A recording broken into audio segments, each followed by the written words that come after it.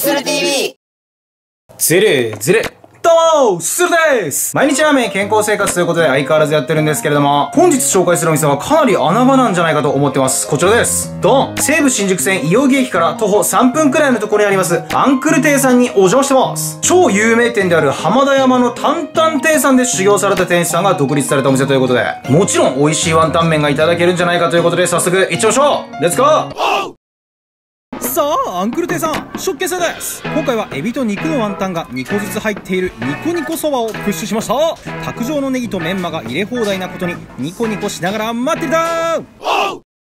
こちらがアンクル亭さんのニコニコそばです。ひょーい。綺麗に揃った麺線に適度に濁ったスープもこれまた綺麗。ワンタンもゴロゴロって感じだぞってことでいただきます。さあまずはスープから飲んでみましょう。ちょめめ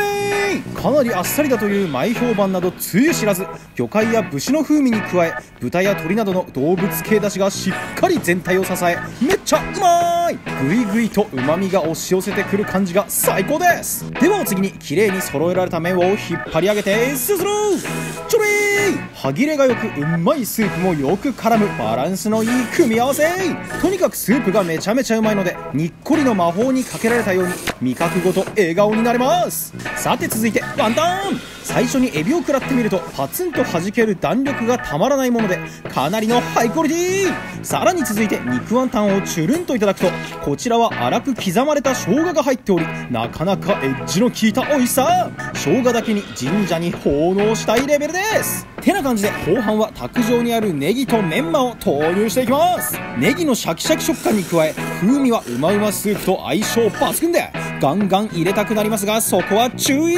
一気に入れるとバランス崩壊の危険があるので味を見つつ入れましょう。そんなこんなで肉質しっかり系なチャーシューも噛みしめに噛みしめまくって麺やワンタンもチュルンチュルンといただきまくったら最後まで激うまスープを飲み干して本日も完食です。大変美味しくすれました。とにもかくにもスープが最高すぎたうまみのパレードでした。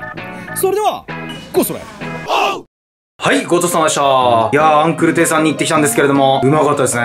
超バランスが良くて、とにかくシンプルにうまいなと思えるラーメンでした。魚介の風味もしっかりありつつ、ベースのある動物系がしっかりと支えてくれていて、とにかく旨味が後からどんどん追いかけてくれるようなスープで、ついついグイグイ飲んじゃいましたね。麺は綺麗に揃えられていて、もちろんスープの持ち上げも良くて、スルッとすすれるとても美味しい麺でした。ワンタンはエビと肉を2個ずつ追加したんですけども、肉ワンタンが生姜の風味がかなり強くて、肉もジューシーですごく美味しかったです。てのバランスが良くて、ついついスープまで全部飲んでしまいまして、また来たいと素直に思えるラーメン屋さんでしたね。ごちそうさまでした。それではするの公式キャッチフレーズ。